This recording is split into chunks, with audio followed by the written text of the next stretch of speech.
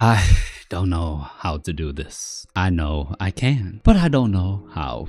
My name is Cheng, and this is the best thing to do when you start off climbing to improve. Here we go. I'm here to tell you when you first start off climbing, you suck! Like you are terrible, awful. And you can look at the problem all day long and you can try over and over again, only to end up on your bootay or on your face. And you're like, why? Well, the answer is because you don't know good beta. And how are you supposed to know? You just started climbing. All you really know is to use your arms as much as possible, which you're not supposed to do, but you do. It's like expecting a four-year-old to know how to read, but you never taught them anything about the alphabet. So let me help you.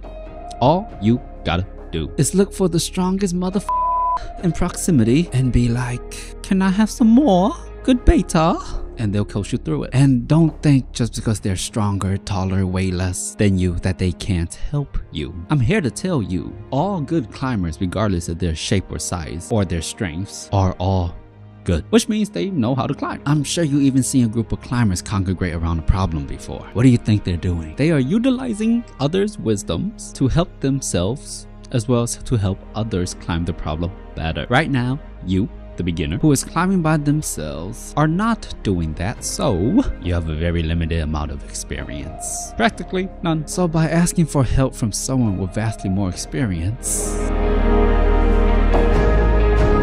you now automatically have all their wisdom for tis but the briefest of moments, mate. Cause sometimes you're thinking, maybe I'm supposed to do this. Or you're thinking, this is just not feasible. Or you're thinking, I just need to be taller or stronger, blah, blah, blah. But I'm here to tell you, if you're climbing like V0 to V2 and you keep falling, the answer is you just don't know how to do it. All the physical variables you think you have that are holding you back, it's none of those. The answer is you just don't know how to climb well. The ability to utilize your body's full potential is not yet within your wheelhouse. So for the sake of not beating your head against the wall until you're completely demoralized, just ask for help. You do this enough time and you build up a library of knowledge of how to climb well. And even if you're extremely fatigued or gassed out and you can't do the climb today, next time you come in, you will be able to. And then you'll start to understand that there is no need to get stronger.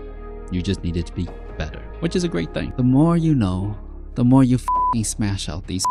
My name has been Cheng, and I'll see you next time, partner.